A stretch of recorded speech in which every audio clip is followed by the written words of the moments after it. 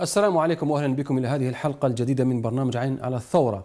يدخل اليوم النزاع في سوريا الذي حصد أكثر من 146 ألف قتيل عامه الرابع من دون أي بارقة أمل بقرب انتهائه، فالرئيس بشار الأسد لا يزال في السلطة فيما المعارضة منقسمة على نفسها وتخسر المزيد من المواقع. وفي مؤشر آخر على أن النظام ليس مستعدا للمصالحة أقر مجلس الشعب السوري مشروع قانون يمهد الطريق أمام إعادة انتخاب الرئيس الأسد لولاية جديدة ويقصي عمليا معارضيه المقيمين في المنفى من حق الترشح. وفي يبرود آه، أوردت تقارير أن معارك طاحنة دارت اليوم عند المدخل الشرقي للمدينة. مدينة يبرود أي أحد أبرز معاقل المعارضة المسلحة في ريف دمشق وأكدت مصادر عسكرية أن الجيش السوري يكون قد دخل المدينة بينما آه، أشارت آه، مصادر المعارضة نفت هذا الدخول القوات النظامية المدعومة بحزب الله المدينة يبرود. ولي للتحدث عن آخر المستجدات الميدانية في مدينة يبرود الاستراتيجية على الحدود مع لبنان. آه، ينضم إلينا أبو صخر الناشط الإعلامي والميداني. أبو صخر بعد التحية النظام يقول أنه دخل واستولى على يبرود بينما المعارضة تنفي. آه، والأكيد أن المعارك طاحنة وعنيفة كذلك تدور في المنطقة. ما هي آخر المستجدات؟ اسعد الله مساءكم وتحية طيبة لكم ولكل العاملين في قناتكم الكريمة. آه، أخي الكريم آه، الوضع حاليا في يبرود الوضع آه، يتراوح بين عمليات كر وفر بالنسبة للجيش النظامي ولقوات حزب الله اللبنانية. الثوار متقدمون وثابتون في مواقعهم والحمد لله تعالى الوضع الميداني في أيديهم ثابت. ولكن نرجو من جميع القادة الثوريين المحيطين بمنطقة يبرود نرجو منهم فتح جبهات خفيفة لتخفيف الضغط عنا. العمل الميداني جيد وقائم. آه، ننفي نفيا قاطعا دخول آه، قوات حزب الله والقوات الشيعية الموالية للنظام دخول بلدة يبرود وإن شاء الله تعالى نحن صامدون. وبإذن الله تعالى هناك أخبار طيبة بإذن الله في اليومين القريبين.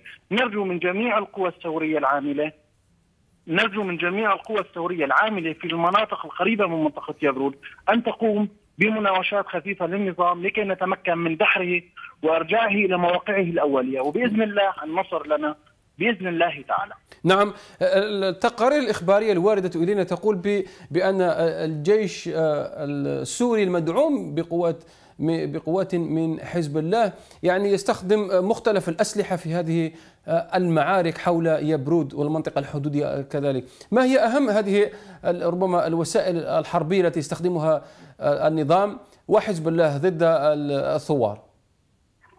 أخي الكريم النظام النظام يستخدم جميع الأسلحة المحرمة دوليا. يعني كان صواريخ السكوت المدمرة آه، نظام البراميل الذي محرم دوليا لقتل الأهالي وتدمير المنطقة. آه، يستخدم آه، الأسلحة بغزارة كثيفة، اسلحه المدفعية. تمطرنا يوميا بوابل من القذائف. تصيب الأهالي تقتل الأطفال والنساء خاصة خاصة يعني. صواريخ الإسكوب العمياء التي لم يستخدمها أي نظام في العالم يستخدمها الآن ضدنا. ولكن نحن نبشر نبشر جميع القوى العاملة في الأرض وجميع الثوار ثورتنا الكريمة أننا بإذن الله صامدون بإذن الله صامدون. نعم آه، يعني هل هناك آه، حديث هل لديكم ربما معلومات عن سقوط ضحايا أو من في خلال هذه المعارك؟ الضحايا تقتصر على المدنيين وقليلا من المدنيين بالدرجة الأولى بين الأطفال والنساء آه، بالنسبة للشهداء آه، أعداد قليلة والحمد لله. نقتل منهم أعداد كبيرة بإذن الله تعالى نحن المنتصرون. ولكن الصواريخ عمياء ولا تعرف المدني من المسلح. نعم. النظام نظام مجرم مجرم آه، نظام ليس له مثيل على مستوى العالم في إجرامه ضد المدني. نعم. لماذا يعني معركة يبرود والقلمون وتلك المنطقة الحدودية يعني حاسمة بالنسبة لجميع الأطراف المعارضة أو حتى النظام المدعوم من قوات حزب الله؟ طبعا طبعا طبعا أخي الكريم منطقة آه، يبرود هي المتمثلة في منطقة القلمون عامة ولكن آه، منطقة القلمون منطقة استراتيجية ومهمة جدا بالنسبة للنظام لأنها منطقة وسطى ما بين دمشق العاصمة وحمص ومنطقة مسيطرة على الأستراد. وبنفس الوقت منطقة قريبة من الحدود اللبنانية ومنطقة قريبة من تجمعات حزب الله. فهي منطقة منطقة نرجو من جميع الثوار نرجو من جميع الثوار والقادة الأكارم أن يصبوا اهتمامهم بها كما يصب النظام السوري وحشيته عليها. منطقة استراتيجيا آه، يعني استراتيجيا موقعها المميز يجب أن يكون كل توجه الثورة لها. نعم هناك من يقول تقارير كذلك تقول بأن منذ دخوله آه، المعترك السوري في ربيع 2013 قوات حزب الله أو دخولها قوات حزب الله تحاول أن تقطع خطوط الإمداد بين الشمال آه، بين يعني هذه المنطقة الحدودية التي. يقولون بأن الجيش الحر والثوار كذلك يستخدمونها كطريق لإمدادهم عدة وعتادا طبعا أخي الكريم منطقة القلمون منطقة حساسة جدا للنظام بسبب موقعها المتميز بين لبنان والمنطقة الوسطى السورية والعاصمة دمشق. منطقة تسيطر على منفذ حدودي وتسيطر على طريق الاستيراد الدولي الواصل بين دمشق وحمص. سقوطها بايدي النظام يعني نصره وإن شاء الله إن شاء الله نحن سندافع عن كل شبر منها وستبقى بأيدينا بإذن الله تعالى وتوحدنا هو أساس النصر بإذن الله وسندافع عنها لكي لا تسقط مدن أخرى بعد سقوط بلده يبرود، بلده يبرود بلده هامة جدا استراتيجيا نتمنى ونرجع نكرر من جميع القوى الثوريه ومن جميع الثوار والقادة المجاهدين في الأرض فتح جبهات قريبة منها لتخفيف الضغط عنها و يعني لتخفيف الضغط لكي لا تسقط بيد النظام. نعم. شكرا آه، لك أبو صخر الناشط الإعلامي والميداني والذي كان معنا من يبرود الحدودية مع لبنان وغير بعيد كذلك عن آه، سوريا ولبنان أنتقل إلى تركيا هذه المرة مع الدكتور محي الدين بنانه القيادي في التجمع الثوري السوري. دكتور محي الدين بعد التحية. استمعت الآن إلى أبو صخر الناشط الميداني من يبرود ويقول بأن هناك معارك يعني طاحنة كذلك وعنيفة وهو يطالب آه، القوى الثورية في المنطقة بفتح جبهات جديدة لتخفيف آه، الضغط العسكري الجوي والمدفعي كذلك على الثوار في يبرود. لماذا هذه هذا يعني يعني كل هذا التركيز على يبرود والقلمون كل الحدودية. أه، تحياتي إليكم وللسادة المشاهدين ولقناتكم الحرة التي أه، دائما عودتنا أن تكون مع الحق ومع الثورة السورية المباركة التي اليوم يصادف الذكرى الثالثة لانطلاقة آه، هذه الثورة التي نتمنى آه، من من من قلوبنا ومن أشقائنا ومن أحبابنا أن آه، يساعدونا ويدعوا لنا بالتوفيق والنجاح بالانتصار على الطاغية الذي ليس له مثيل لا في التاريخ القديم ولا في التاريخ الحديث هذا من جهة. من جهة أخرى فيما يتعلق بموقع القلمون فهو موقع استراتيجي يعتبر الخاصرة الخاصرة اليسرى لسوريا والتي تعتبر مهمة جدا بالنسبة للمنطقة الحدودية مع لبنان خاصة منطقة عرسال وما حولها.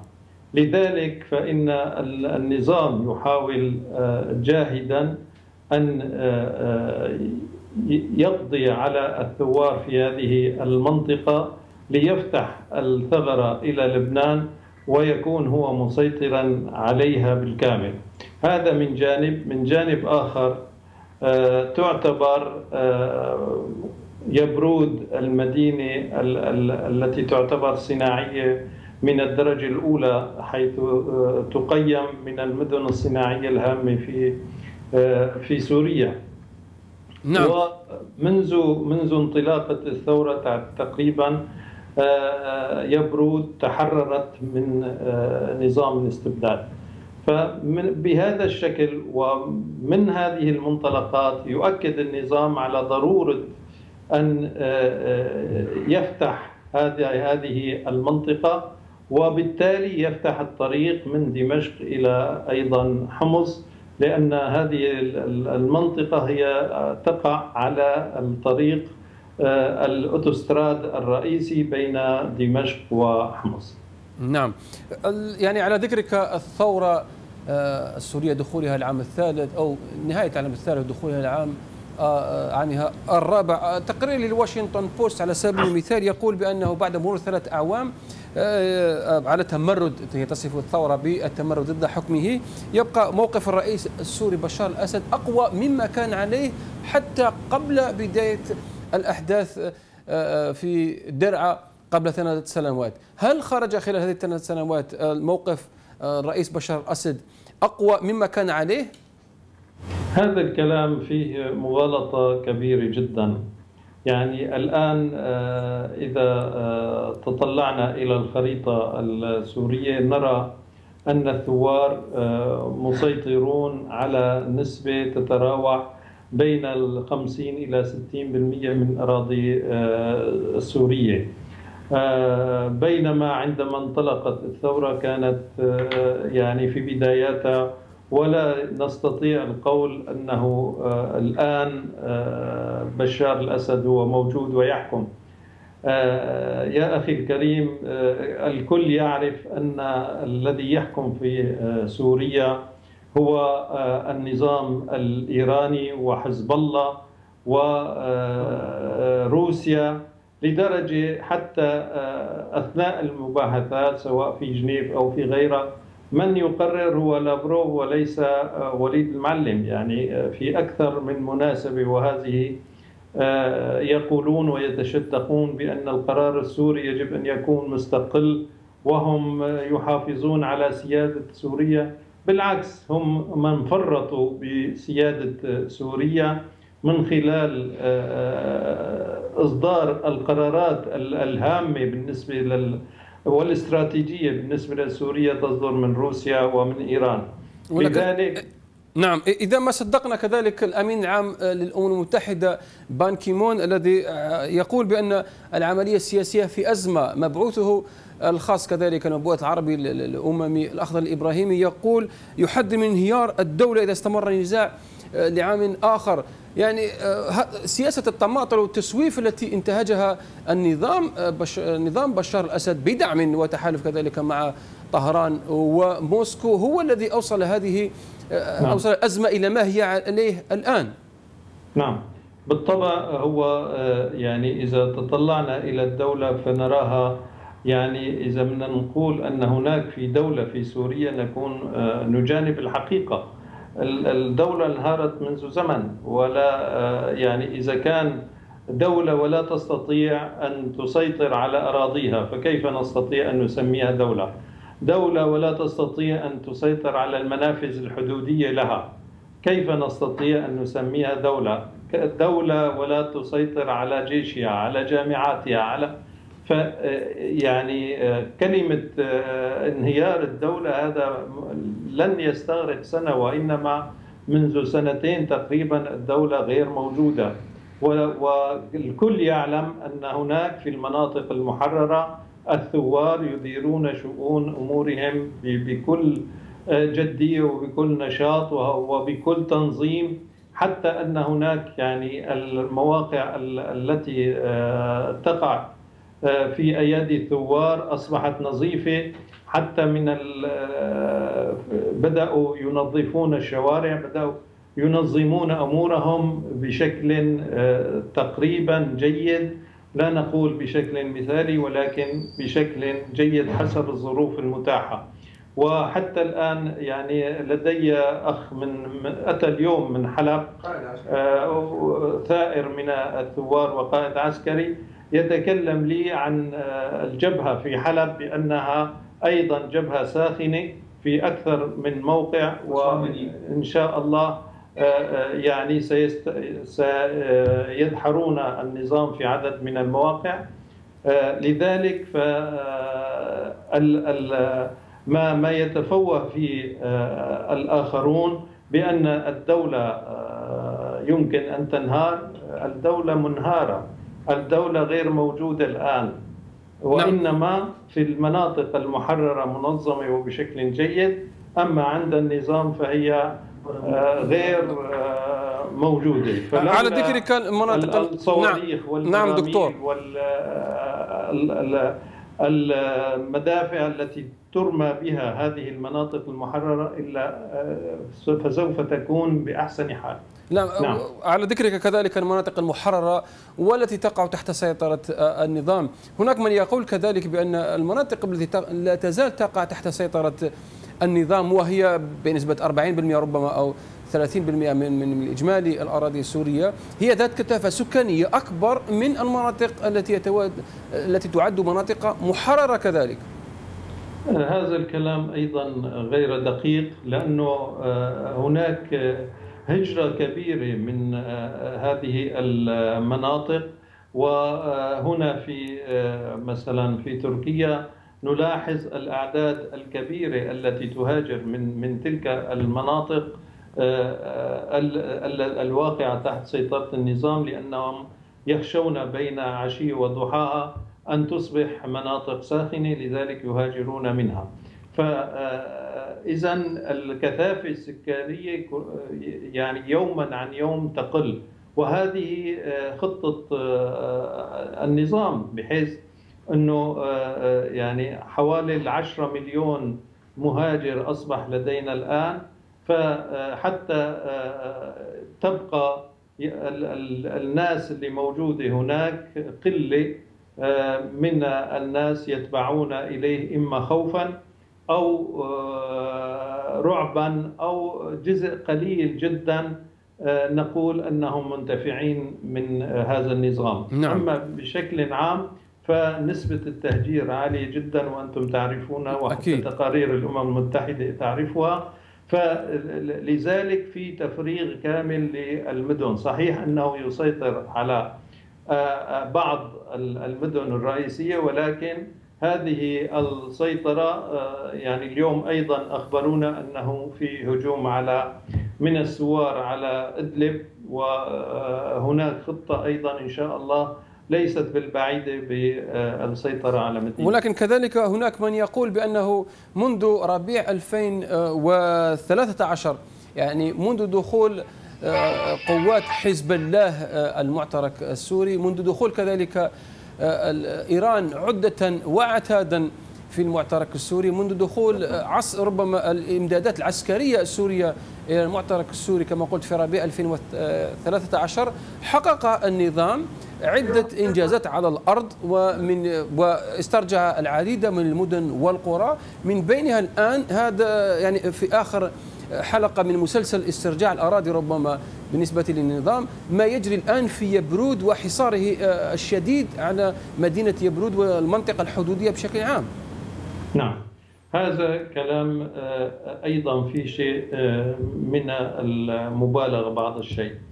لماذا؟ لأنه آه، الذي حصل وهذا واقع أن يعني ما يسمى بمنظمة داعش استطاعت أن أن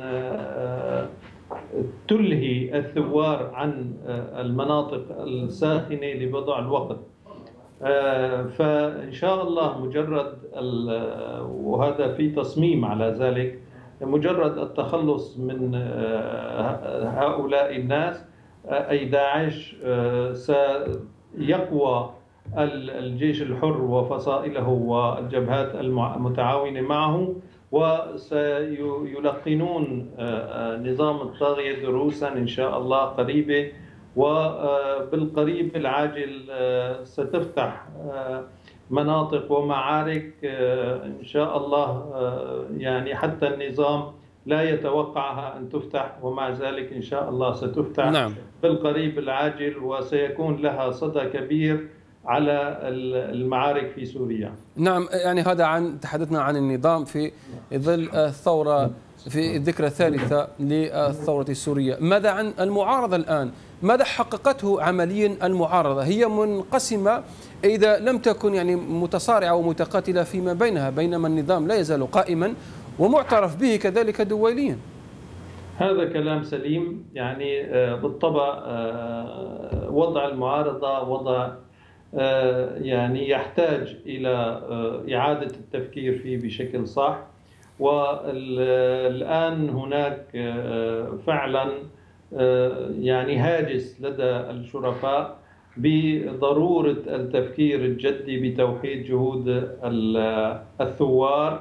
أنا لا يعني لا لا أريد أن نسميها معارضة.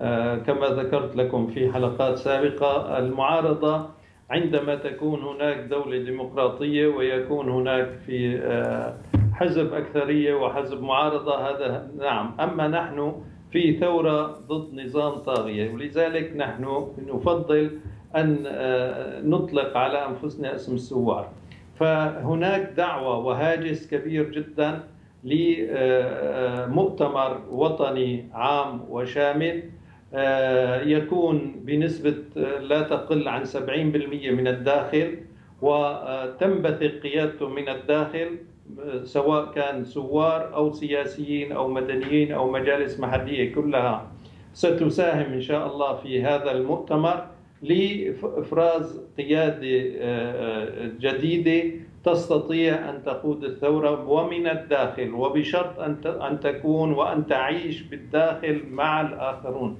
مع الآخرين. أما نعم. آه، الوضع الحالي فهو وضع فيه شيء من التشرذم فيه شيء من التشتت الذي آه، إن شاء الله ندعو الله أن أن لا يستمر طويلا. نعم، ابقى معي ابقى معنا آه، دكتور محي الدين بنانا نأخذ فاصل قصير ثم نعود إلى النقاش، فاصل قصير ثم نعود إلى مواصلة هذا الحديث عن الملف السوري اليوم. ابقى معنا.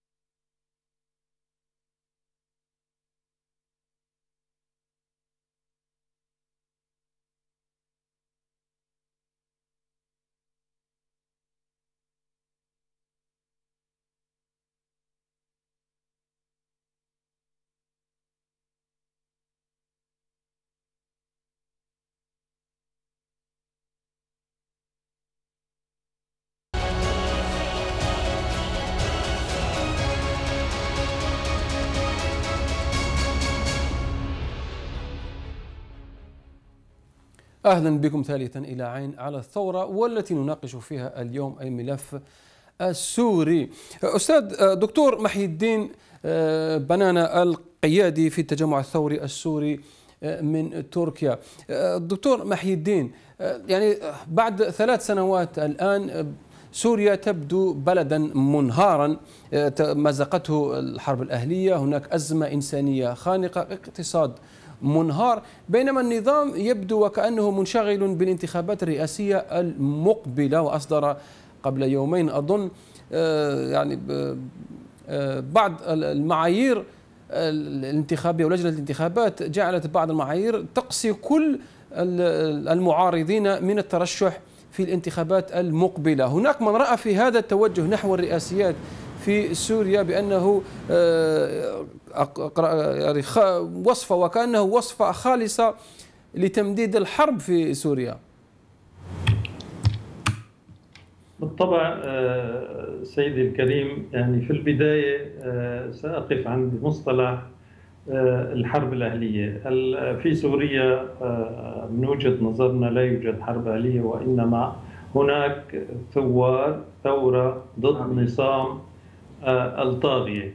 هذا من جهة. من جهة أخرى آه، رأس النظام وأتباعه دائما آه، يفكرون ويعملون بعكس التيار بعكس ما هو واقع. وكأنهم يحلمون وموجودون في في في في كوكب آخر. كأنهم غير موجودين في سوريا. يصدر مرسوم ويلغي مرسوم و يشكل وزارة ومجلس وإلى آخره. وكأن آه، في سوريا لا يوجد آه، أي مشكل ولا مشاكل ولا براميل ولا صواريخ تدك البيوت ولا هناك أصبح الآن آه، عدد الشهداء ما يقرب أو يزيد عن الربع مليون. وهناك المفقودين وهناك ال ال الجرحى وإلى آخره والبيوت المهدمة أكثر من مليون ونص مهدم بيت مهدم. وكأن كل هذا غير موجود ويفكر آه، بالترشيح لرئاسة جديدة. يعني حتى آه، لو لو لو في ذرة من من من الدم من هذا لا, لا, لا يفكر على من سيكون رئيس على من سيكون رئيس هذا الطاغية على ناس آه، على أم ثكلى على أب فقد ابنه على زوجة فقدت آه، زوجها على طفل فقد أباه. على من سيكون رئيس؟ من سينتخب هذا الرئيس؟ لذلك يا أخي الكريم هو دائما هو ونظامه يحلق في فضاء غير آه، واقعي افتراضي غير موجود على الإطلاق يصدر ما يصدر والثوار غير مكترثين على الإطلاق. فيما آه، يفكر به هذا النظام وفيما يفعله سوى آه، فقط كيف نستطيع أن نسقط هذا النظام. كل التفكير الآن متوجه ويجب أن يتوحد في آلية إسقاط هذا النظام وكما ذكرت ليس لوحده وإنما هو وأتباعه وهو وأعوانه من الصفويين والروس نعم. وأنا في هذا المكان ومن خلال قناتكم الكريمة يعني فعلا أتوجه إلى دول الخليج يا أخي الكريم هؤلاء الدول أعتقد أنه لا سمح الله فيما لو أن الثورة السورية تراجعت فالدور سيأتي إليهم من من من خلال الامتداد الإيراني على المنطقة. فالسعودية ستكون مستهدفة بالدرجة الأولى بعد بعد سوريا لأنه آه، إيران أطماعها آه، كبيرة جدا ولن تقتصر على آه، هذا الشريط العراق سوريا لبنان وإنما ستمتد إلى دول الخليج وتقضمها دولة بعد الأخرى. لذلك نناشد من خلال قناتكم الكريمة أخوتنا في العروبة وفي الإسلام أن يعوا لهذه المعادلة التي ليست لصالح لا دول الخليج ولا دول المنطقة. نعم. فيما لو آه، لا سمح الله تراجعت. الثورة ابقى معنا دكتور محي الدين. ينضم إلينا من الجزائر السيد سمير سطوف العضو عضو المجلس الوطني السوري. بعد ترحيبي بك أستاذ سطوف في الذكرى الثانية أو الثالثة للثورة السورية هناك آه، من يقول بأن النظام لا يزال قائما وأكثر قوة مما كان عليه قبل ثلاث سنوات اندلاع آه، الاحتجاجات التي تحولت فيما بعد إلى ما تحولت آه، إليه بينما لم تحقق المعارضة في بالمقابل أي شيء كيف تقيم أنت المجهود الثوري خلال هذه الثلاث سنوات؟ تحياتي لك اولا ولضيوفك الكرام وللساده المشاهدين أخي الكريم. آه، الحقيقة الثورة السورية قامت بكل ما عليها وأعطت كل يعني آه، ما لديها وهي مستمرة في العطاء. اذا على المستوى الثوري ليس هناك تقصير بل بالعكس هناك الإنجازات، على مستوى المعارضة طبعا في هناك أداء آه، لم يكن في المستوى المطلوب. وهذا راجع لعاملين عامل موضوعي. وأبدأ بالعامل الموضوعي بمعنى آه، القوى الدولية بشقيها سواء يعني أعداء الشعب السوري. كما هي كما هو الحال في روسيا وإيران وحزب الله ويعني النظام العراقي حكومة المالكي. أو اعتقاء الشعب السوري أنا الحقيقة بفضل هذا التعبير اعتقاء الشعب السوري الذين يدعون صداقتهم للشعب السوري ولم يقدموا إلا النذر اليسير بمعنى رفع العتب لتبرير التسمية أصدقاء الشعب السوري. اذا الظروف ضاغطة من كل من كل حد وصوب على المعارضة السورية والأجندات الدولية نتيجة العجز هي تفعل فعلها الحقيقة يعني علينا أن نعترف بذلك. آه، تفعل فعلها في في أداء المعارضة السورية. هذا ليس من من آه، قبيل التبرير. أنا لا أبرر لأحد. لكن ثورة شعبنا مستمرة وبكفاءة عالية وصمود أسطوري نعم. للشعب السوري. أستاذ سطوف يعني نفس الكلام آه، تقريبا عندما تحدث عن أصدقاء الشعب السوري آه، آه، تحدث عنه أحمد جربة كذلك في تصريحات اليوم رئيس الائتلاف يقول بأن الأصدقاء لم يفوا بوعودهم. بينما كذلك الأمس كذلك أو قبل أمس إيران يعني عقدت كذلك اجتماعا مقابلا بالنسبة ل أصدقاء سوريا ولكن ربما أصدقاء النظام السوري وضم عددا من الدول من بينها الجزائر. فكيف ترى أنه نعم. لماذا لا يفي أصدقاء على سبيل أصدقاء الشعب السوري لا يفون بتعهداتهم بمساعدة الثورة السورية؟ الحقيقة يعني علينا أن نقولها أيضا بشكل واضح وكامل وجلي. في تقصير عربي شامل آه، تجاه الشعب السوري وإن كان يبلغ ذروته؟ هذا التقصير في الموقف السياسي غير المفهوم آه، من آه، من قبل الجزائر الحكومة الجزائرية و بالإضافة طبعا إلى موقف العراق ولبنان المختطف يعني. وفنزويلا وروسيا وكذلك كوبا وهم الدول. على المستوى العربي على المستوى العربي أتكلم نعم. على المستوى العربي يعني وظلم ذوي القربى أشد مضادة. نعم. مع الأسف آه هذا آه واقع حال لا نفهمه لا أستطيع أن أفهمه. اناقش يعني الأصدقاء والمسؤولين الجزائريين ليس هناك آه جواب شافي كامل. طبعا هم يقولون نحن لا نتدخل بالشؤون الداخلية. نعم لا تتدخلون بالشؤون الداخلية مسألة مفهومة ومطلوبة. ولكن هل ثورة الشعب السوري هي شأن سوري داخلي يقمع هذا الشعب يقتل. هل نستطيع أن نقول أن هذا شأن يعني داخلي؟ العدد كبير وال يعني أتمنى أن لا تغرس خنجرك المملح في جرحنا؟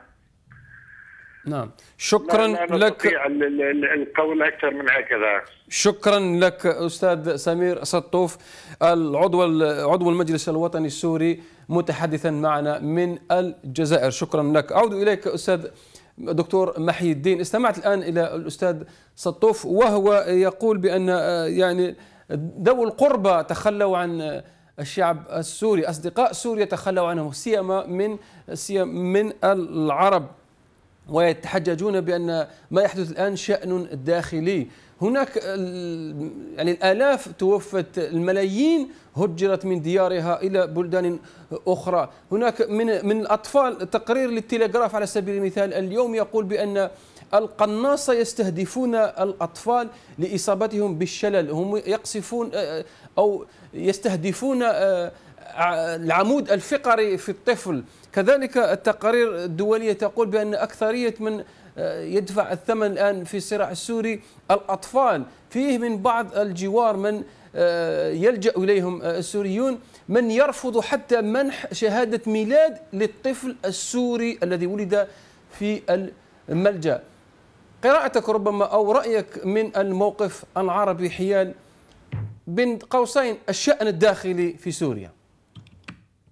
بالطبع آه، يعني ال- الموقف العربي آه، على غير عادته على الإطلاق. العرب كما آه، نعلم وكما قرأنا ودرسنا. والمثل العربي يقول أنا وأخي على ابن عمي وأنا وابن عمي على الغريب.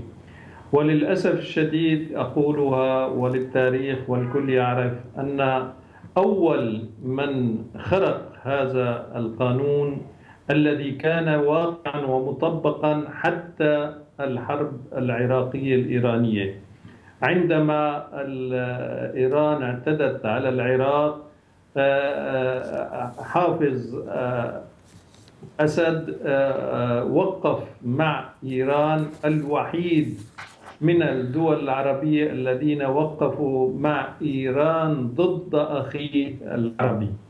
فهذه القاعدة كسرت منذ ذلك التاريخ وبدأت آه، تستشري يوما بعد يوم حتى آه، وقتنا الحاضر. فالأخوة العربية أصبحت ضعيفة جدا وحتى أيضا أبعد من ذلك الأخوة الإسلامية أصبحت ضعيفة. سابقا عندما كنا نحن وك- وكان الحديث من الجزائر عندما كنا صغارا آه، عندما كان الاحتلال الفرنسي للجزائر كنا نطلع مظاهرات في سوريا لتأييد أخوتنا في الجزائر وقد أيدنا حتى بذهاب البعض للتطوع بالثورة الجزائرية.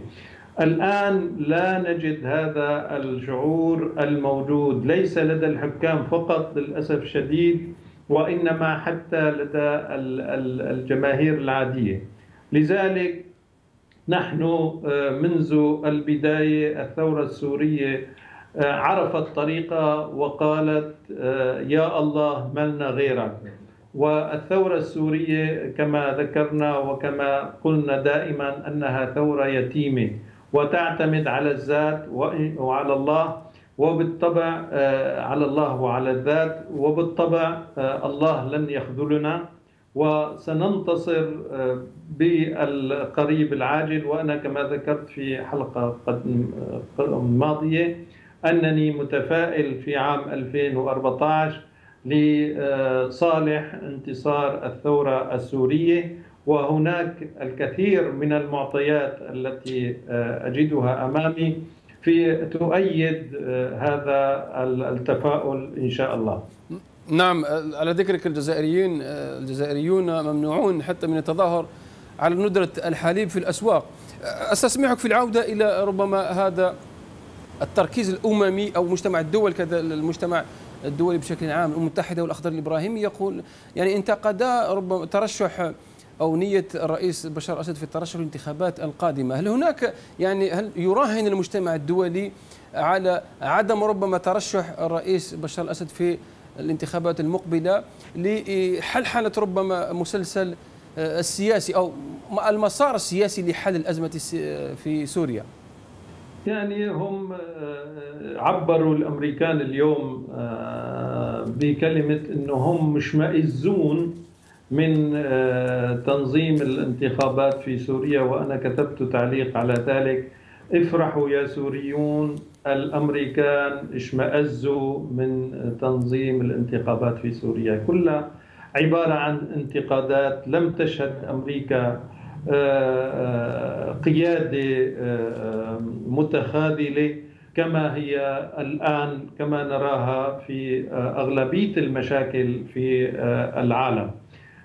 وخير مثال على ذلك حتى يعني في أوكرانيا ما نراه في أوكرانيا الآن من تخاذل للقيادة الأمريكية وأوروبا لا حول لها ولا قوة تمشي في ركب السياسة الأمريكية. فإذا كان في أوكرانيا لم يعملوا شيء فما بالك بالنسبة لسوريا؟ لذلك كما ذكرت الثورة السورية لا تعول على هؤلاء وإنما فقط يجب أن نفكر كسياسيين كيف نستطيع أن نستفيد من هؤلاء المكونين أو مكونات المجتمع الدولي. كيف نستطيع أن نستفيد منهم ولو القدر اليسير أما نقولها وبصراحة وشعبنا الكريم يعرف وبصراحة أننا لن نعتمد على أحد سوى على الله وعلى أنفسنا حتى نستطيع أن نحقق النصر. اشكرك نعم. نعم أشكرك الوقت لم يعد يكفي للحديث على ذكرك الأوكرانيين عندما طلب الأوكرانيون من أمريكا مساعدتهم بعثت واشنطن بسندويتشات. شكرا لك دكتور محي الدين بنانا الذي كان يتحدث القيادي في التجمع الثوري السوري الذي كان يتحدث معنا عبر خدمة سكايب من تركيا. نهاية قال نهاية عين على الثورة لهذا اليوم إلى الملتقى.